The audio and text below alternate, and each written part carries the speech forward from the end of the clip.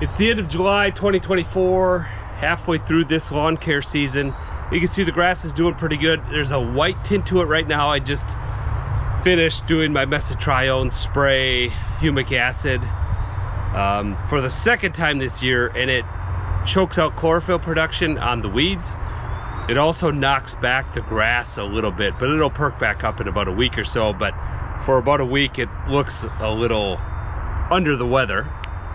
I've got the Orion X7 cutting grass right now. And unfortunately, the Luba is sitting here beeping away with an error. It's saying that the charge area is not clear. I think the ultrasonic sensors are have some sort of fault and they're thinking that there's an obstruction in front of it when clearly there isn't. The, the front bumper's also fallen off a few times. Um, this is the original Luba with GPS only navigation. You can see the front bumpers got scraped up a little bit, um, ramming into this this retaining wall block and some of these edgers when the positioning isn't perfect. It wants to drive into this area and really put a lot of pressure on that bumper and, and it's actually ripped it off a few times. So maybe I should be thinking it's a bumper problem um, but there is a self-check and there's a little LED on here that says it's green and happy. So I don't think it's that, but you can hear it just sitting here beeping.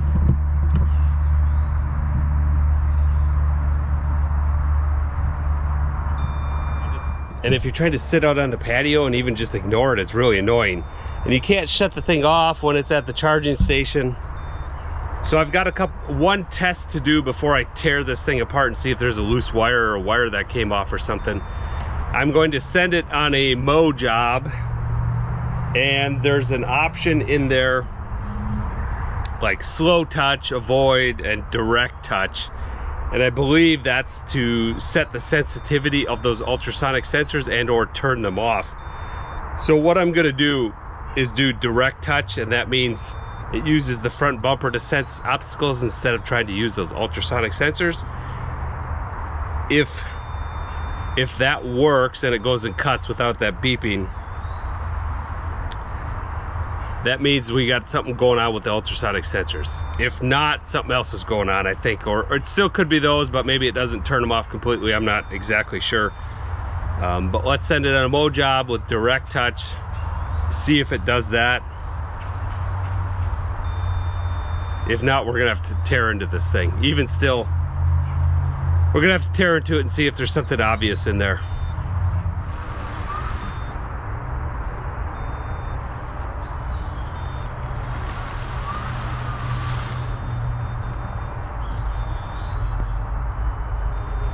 It keeps backing up like it thinks there's an obstacle in front, even with that direct touch.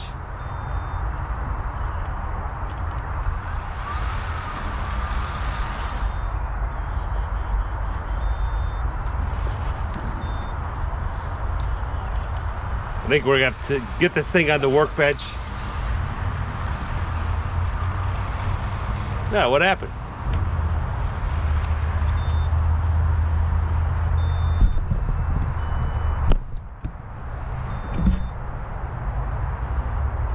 Yeah, it keeps maneuvering like there's an obstacle in front of it. Clearly it's not running into anything. Never had a problem with this area before. It's working as if it ran into something and then it's trying to work around it. So we got to get this thing on the workbench, tear it apart, see if there's something inside that we can, something obvious inside that that uh, is causing this. It's about exactly a year old. Not really the reliability of something you want that almost costs $3,000. Hopefully we can fix it. On a side note, I did a dedicated video this spring on how to build this bird feeder with the planter and it worked out exceptionally this year. Very happy with it.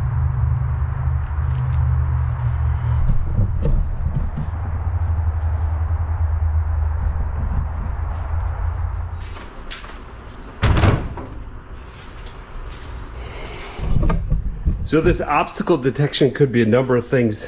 The bumper has it on front.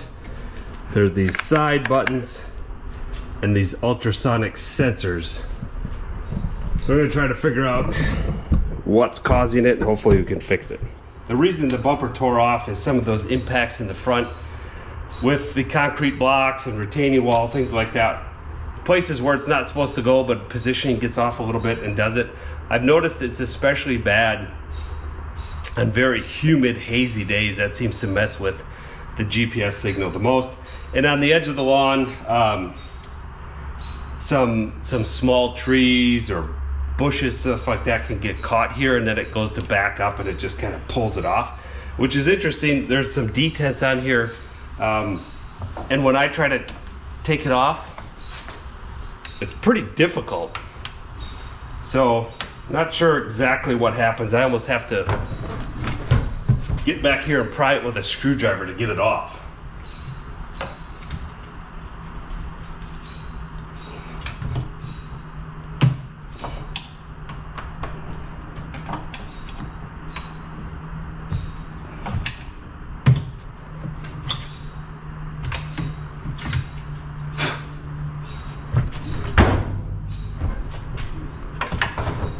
So kind of amazing that that gets peeled off. There's these detents you press in, some electrical connections. So I guess it's possible maybe we didn't have a good connection there. There's a self-diagnostic in the app um, that checks the status of the bumper or that it's in place and it, it always gives a green dot. So I'm thinking it's not this, but could be. First thing I noticed, and I've noticed this in the past with this particular Luba, there's some water here. Um, so when I've picked it up in the past, you can kind of hear some water sloshing around and such. So um, it could be that water got somewhere on top and it just needs to dry out. Hopefully it didn't fry anything, but um, there's some grass buildup here, nothing bad. Um, these can overload and that will give you an error, but it will say in the app you know, cutter motor overload. So I don't think that's what's going on. I think we have to get into the top, take the the white off. You can see there's a part line here, but I'm not quite sure. We need to get at those sensors and get the top off. Not so sure that's gonna be the easiest thing, but we'll start with the obvious fasteners and see where we get. Disassembly is pretty straightforward here. We're going to start by removing the cutting discs. Below them are the guard assemblies, so we're going to take those off.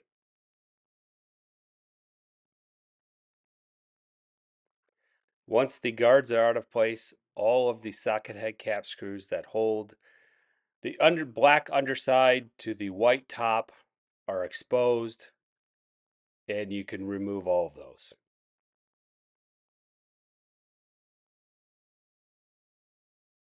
They're all socket head cap screws. You can use an Allen wrench. In this case, I have a multi-tool that gets at most of them.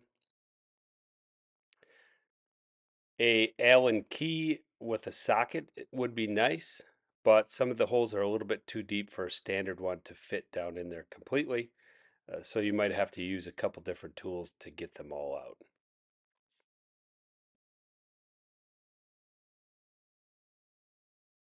Most of the fasteners go into plastic and have coarse threads. There's a few in the front here that thread right into an aluminum piece for the front axle, so those are more of machine screws or typical threads that are in a threaded hole in the aluminum. Next, you have to disconnect the front suspension. These again are socket head cap screws that are really hard to get at. None of my Allen keys could fit in there, so I resorted to a vice grip try to keep these videos as real as possible. So there were two obvious screws that I somehow was missing. I left it alone for a few hours, came back, and it was like they were filled with grass, but they were right there.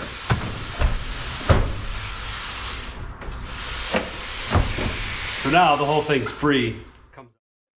Once the screws are out, the top will lift up easily, but don't rip it off too quickly. You need to disconnect the serial cable and an antenna wire.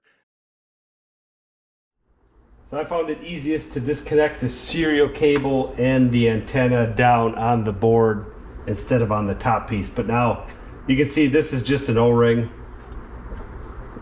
to seal.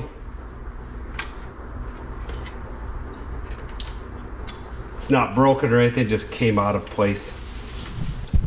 So that serial cable goes here. All you have to do is pop these little retainers out. You can pull the serial cable out. That antenna was connected here with a small piece of tape on it. So you just have to take the tape off. Then you can pop it right out of there. There's no retainer or anything. First observations, it's very clean in here. It's obvious there are no signs of water. Um, and one of the things when you listen and some water comes out of it, this compartment with the battery and electronics is sealed separately than the hubs and the outside of it. So I think water was getting in uh, maybe by the axles and around the edges, but not getting into the compartment with the motors and everything like that. So um, everything looks fine there. The ultrasonic sensors are up here. Here's all the wiring for it. There's a separate circuit board up here. There are no signs of looseness or anything obvious up here that say there's damage or, or loose wires for the ultrasonics. Um, so I'm gonna spend some time just going around here. It is neat to see how things are made. We've got this spring and floating design for the cutting heads. Um, just gonna look for any loose wires, anything on the circuit board that, that might have a sign that something is amiss. But nothing obvious, so here's the battery. We'll take a look at that, see how many amp hours it is and, and what that looks like. Clearly, I'm pretty sure that's gonna be replaceable in here if we had to, but I've had no issues with that. The drive motors are in the hub, so here's the power going from the controller out through the axle into the hub motors. So those axle assemblies look like they'd be fairly easy to replace if you had to. Yeah, interesting. All right, this is a, a nice big battery. We can see the individual lithium ion cells. Looks like there's two, four, six, 12, 24 individual cells. The reason they say this is not user replaceable, we can see right here, the positive and negative are soldered right to the board. Um, the connection on the board here, the positive and negative is here, so that doesn't look like easily changeable, but I guess if you got a new unit here, you could just uh, heat up that solder, take the wires off, and replace it. That way, most people are not going to be feel comfortable doing that. It's not just a, a uh, quick connect or something like that, but um, definitely possible. I wanted to look at this too because if I can't get it working, I was wondering if I could use this on my other robot mower. Um, but unfortunately, the way this is with the integrated circuit board and stuff, I don't think it's going to play nice with the other machine. But good to know. I don't find anything obvious. Hopefully just uh, cleaning up the motors and that. I didn't need to go to this point, but I wanted to see the battery and what's in here and show you guys how to take it apart and inspect this thing. Um, and there's no water debris in here. I'm gonna put it back together and hope that it works. I did kind of go to each one of these connections and press on them, make sure that they were tight.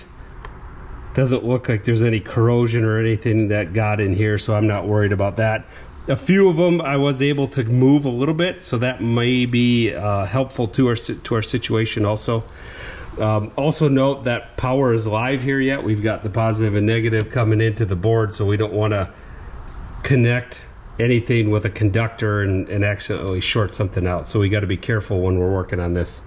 Um, and there's not something we can just easily unplug to take the power off either. I think we could get this, but they've got some goop on there um, on the connection, so you can't easily. You'd have to peel that off and get the the, the retainer off. But um, I'm just going to leave that alone. Like I said, I was careful. Just made sure I didn't use anything conductive when pressing on there. It was a pretty time consuming teardown, but it can be done. I didn't find anything obvious. So now let's put the thing back together. Next time we'll go a lot faster. Putting it back together actually went fairly smoothly, just reversing the whole process we used for the teardown. Miraculously, I had every screw that I needed. It's pretty obvious what place they go in.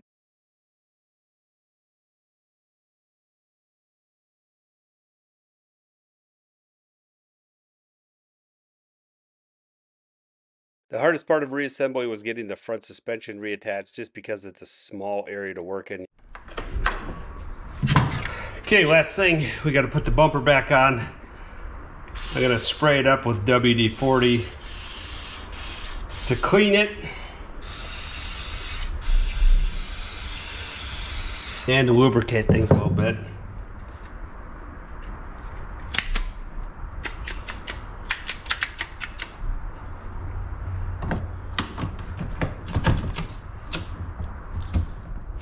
Okay, we've got it all back together. Um, if this, I didn't find anything obvious. If this doesn't work, I'm gonna try to take apart the bumper or see if I can buy a new one. Because I think maybe something's stuck inside of there and it's acting like it's pressing on something. But let's put it back, see if it works. It appears as though it's happy. It's not beeping. So we're gonna see if it moves. Off to a good start. Right after the teardown, and here one of my first mow after, the Luba seemed to be happy. But I continued to monitor it for a few days, and lo and behold, the problem came back. It is still occasionally acting up here. It just got stuck in the rocks over here because if it thinks it hits an obstacle, it does this maneuver where it goes around and here just thought it hit something again. So I think I'm gonna have to get this back on the workbench and look at that front bumper more. Taking apart the bumper was pretty straightforward. There's some Allen screws on the back. And then you can crack it open. There's two more screws with springs on the inside, and we can get it fully apart with two micro switches on the we can use a multimeter set on resistance to test the functionality of these micro switches the two far right pins and the two far left pins are for their respective sides switch. So if we put each conductivity probe on one of those pins and then activate the switch, when it's open or not activated, basically have zero resistance, the circuit is open. When you depress the switch, it goes to high resistance. On the right hand side and the left hand side, these switches were working perfectly. So this confirms it's not the functionality of the front bumper. Replacing this wouldn't do any good.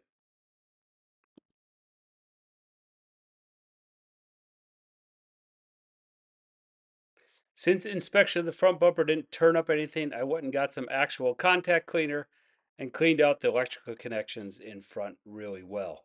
One thing I did find when I was taking apart the seal on the bumper itself, the rubber seal, was a bit swollen and not fitting correctly. So maybe some water got in here.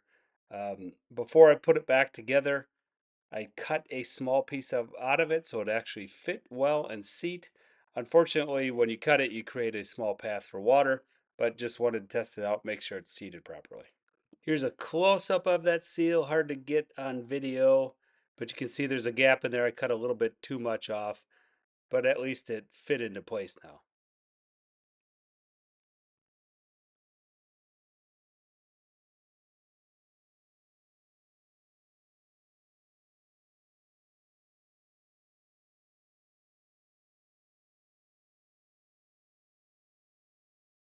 It's happy so far. Maybe it was just a connection on the front bumper, the front bumper itself. Those switches seem to check out fine. There did seem like there's the possibility of water in there. That seal was too big on the front bumper and or swelled over time for some reason. The rubber did feel a little bit mushy. Um, even before using WD-40 or contact cleaner on it. So maybe that was the problem, uh, just falling on and off, got some water in there, debris, the contacts weren't good, so cleaning those. Maybe it's happy, I'll continue to monitor. Hopefully that fixed it. Unfortunately, that did not solve my problem. The we're stuck in the edge of the woods now because when it's in this place with a no-go zone and a tight border on the background, if it senses an obstruction in front of it, it backs up. It backs itself into trouble sometimes.